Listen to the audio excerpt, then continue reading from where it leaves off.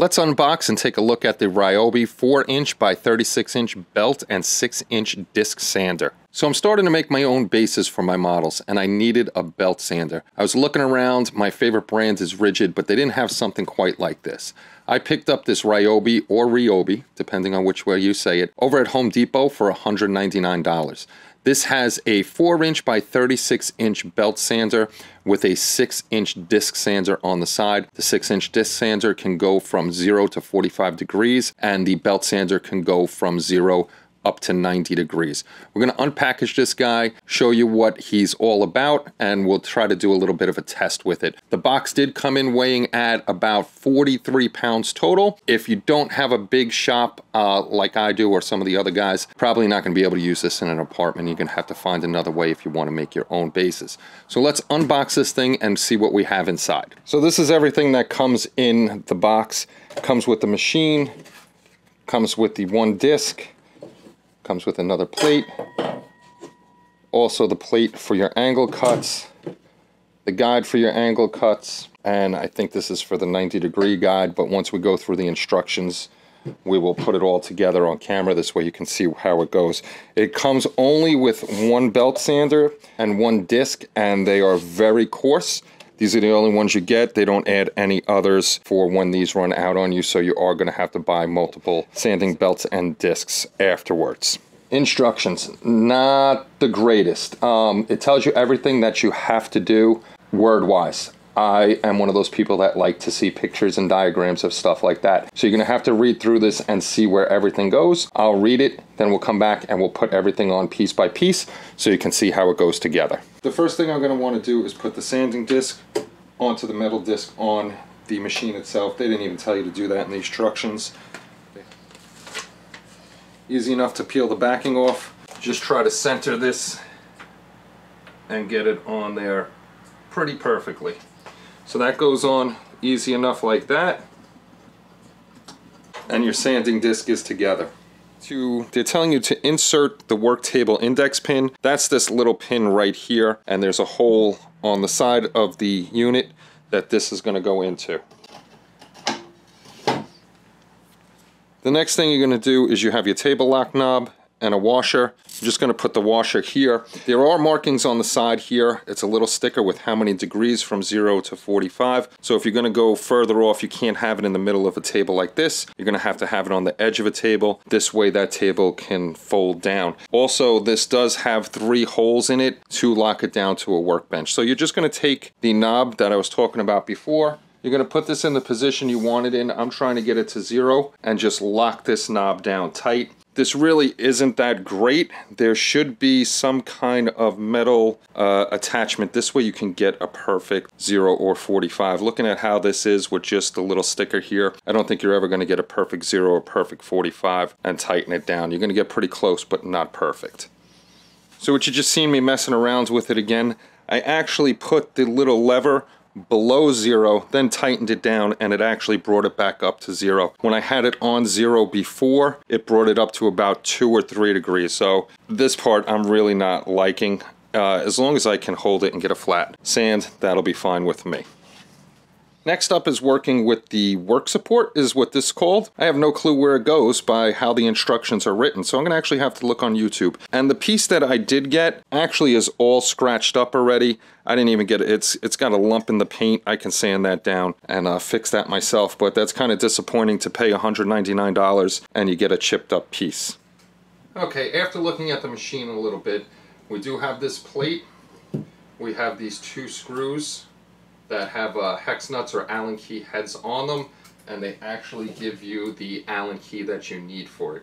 Because the machine is black, the two holes are actually here on the reverse side from where we had the sanding disc. So you're going to find those two holes over here. So we're going to take that plate and we're going to put it over here and then we're going to take the two bolts that they gave us that have washers on them already and we're going to lock these into place and we're going to tighten it down.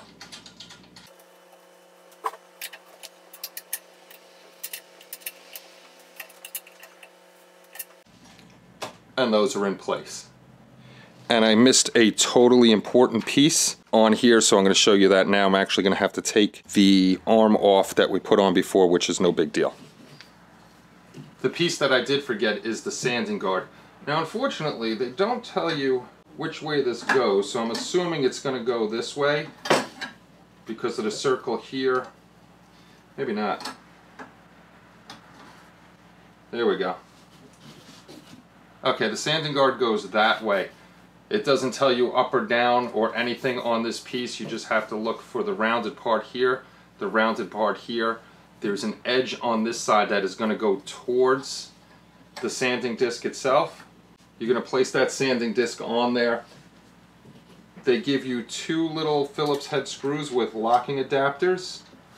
Just get that into the hole. It's not really that easy to do.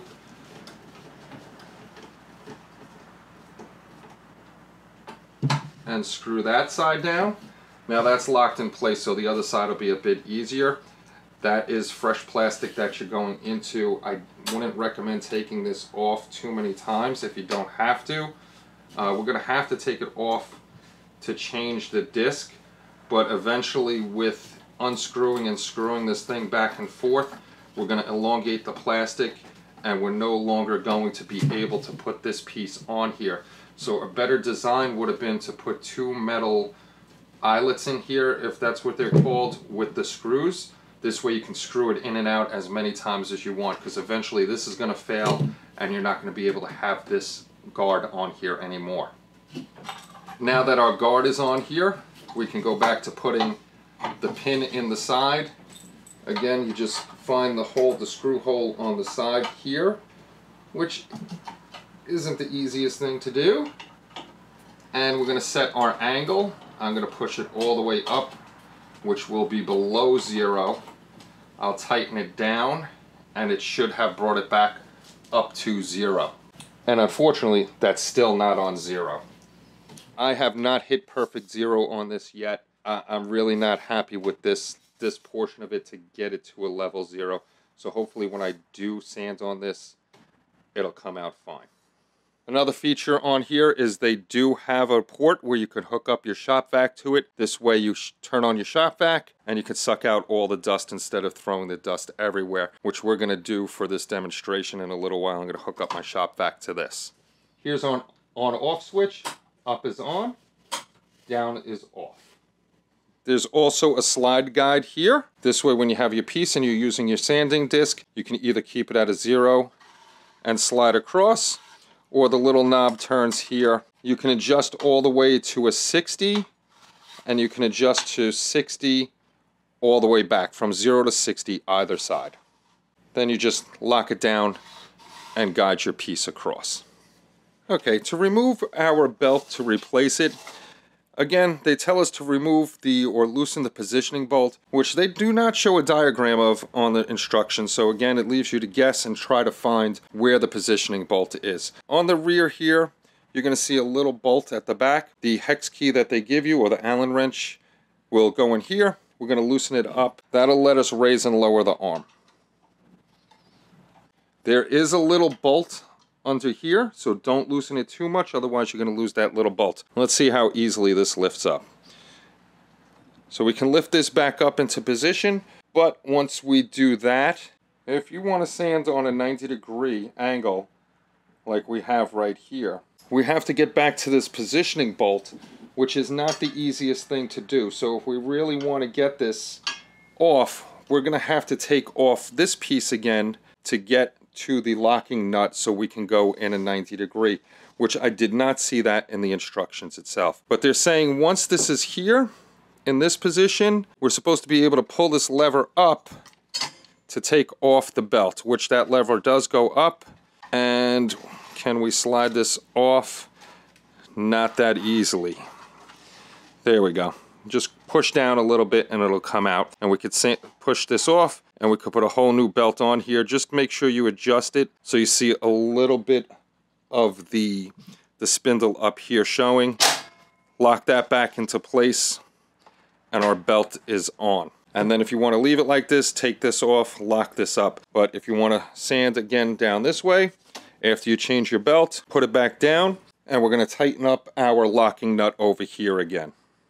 Here's a little bit of a safety feature that reading the instructions I just found out. We're on the on position right now. Of course, it's not plugged in. But once you do hit the off key, let the belt sander come to a stop. Once it's stopped, this little yellow piece right here is actually a key. You can pop that key out, put it in a safe place. If you don't want anybody touching your belt sander, it's not going to work. The the switch is just going to be floppy and it's not going to turn it on or off until you put the key back in. Once you put the key back in, you're in the off position, click, you'll be able to go live again. This here knob is called your tracking knob. So if you are sanding and your belt is starting to slip either way, turn this knob, and it doesn't tell you in the directions which way, a quarter turn.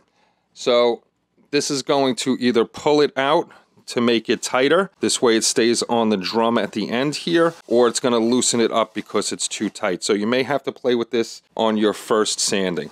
Okay, the first thing I wanna do is I'm gonna click the unit on just to make sure that that belt is not sliding back and forth.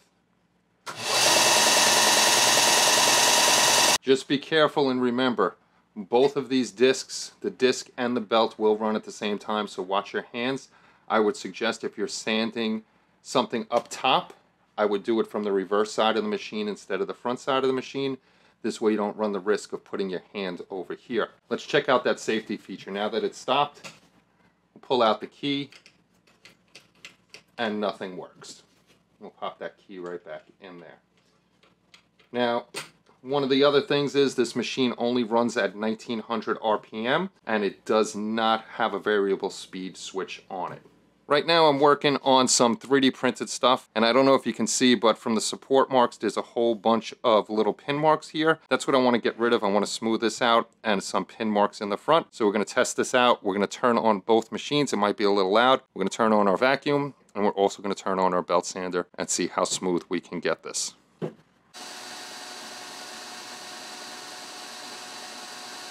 Even before we do any of that, I don't know if you notice this little guy here. When you do turn on the machine, he starts marching forward. So if you're going to use this, make sure you're holding on to it. You're going to have to hold on to it so it doesn't go anywhere. But if you're not using this, I would suggest taking this piece off.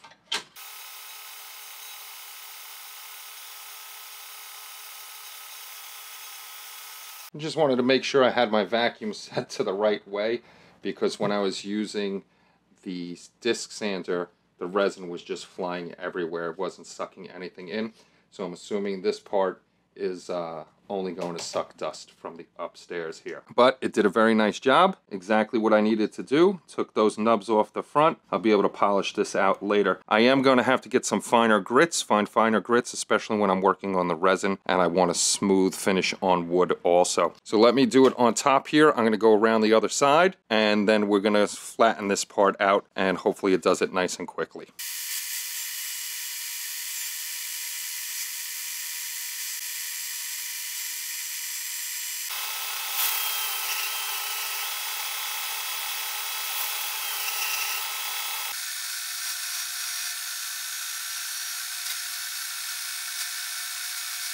So that's it. We got her out of the box. We built her. We got her running. She did what she's supposed to do. So let's go over some of the pros and cons of this machine itself. One pro of it, I like the weight on it. It's not going to go anywhere shifting on your table, but if you do want to screw it down, it does have three screw points where you can lock it down to a bench and leave it there permanently, semi-permanently. This way you can unscrew it and move it if you have to. Another feature that I like about it is the safety switch where you can take this key out and nobody can mess with your machine, especially if you got little ones running around and they do go into your shop or something like that. You don't want them touching this, accidentally turning it on and getting their fingers caught in the spindle or something like that. That would be uh, pretty horrific. Another, uh, sorry, another pro would be that you can lift this arm up to different angles from zero here all the way up to a 90 degree, depending on how you want to sand. Another, another nice thing is you do have the disc on the side. This table goes from 0 to 45 and your sled here goes from 0 to 60. So that's that's a nice feature of this also. I'm trying to think of any other pros on here. Uh, that's that's pretty much it on the pros. Oh, one more pro is the price point. Price point isn't bad, 199 for the machine.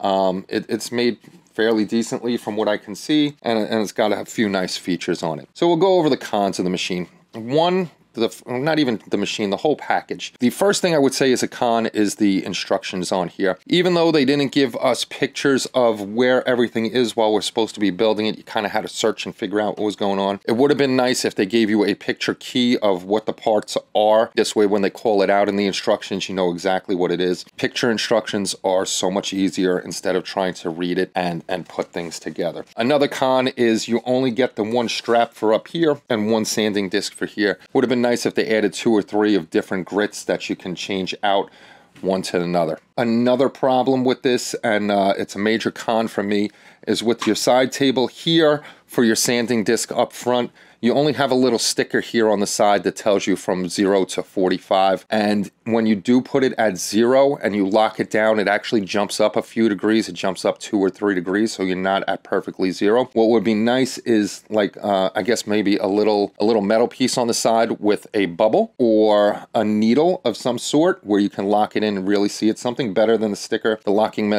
mechanism doesn't really work too well. So when you are doing this, make sure that what I did is I went a little under zero, tightened it down, and it actually pulled it up to zero. So you're going to have to play with that to make sure that it's at a zero. Um, the uh, the one con with you guys saw the metal on here was chipped up and that came from the factory. That's pretty bad quality control on here. Um, this, this should have came perfect. You know, there was no way that somebody at Home Depot throwing this around would have scratched it up because it was inside plastic and it was inside huge styrofoam. So it shouldn't, it shouldn't have uh, been scratched up like that. We should have had a perfect piece of machinery that came out. The suction on here, well, not the suck, the suction for my vacuum is perfectly fine. I think because I was doing resin, resin went everywhere because it's a lighter, finer mist, so it really couldn't grab it. I think when I do wood, it should be fine, but I'll find that out in the future. If it does not uh, suck through the port over here and take up most of that sawdust and the chipping that'll come off of here, that would probably be another con, but I really didn't test it on wood, so I can't really say anything about that. Overall, a very nice machine. Uh, if you're interested in buying it, I found it at Home Depot for, like I said, 199 uh, Ryobi's not my go-to Ridgid Ridgid would definitely be my go-to, but they didn't have something like this. But it's going to be an important piece of machinery for me doing my custom bases. If you have any questions or comments about the machine, just put it in the comments section below and I'll get back to you as quickly as I can about what I know about the machine so far. And you will see it being used in an upcoming video on my Green Hornet build where I have to sand down the frame. So thank you everybody for stopping by. It's always a pleasure seeing you and talking to you. I hope you're all doing well. We'll see you all soon. Take care and bye-bye everybody.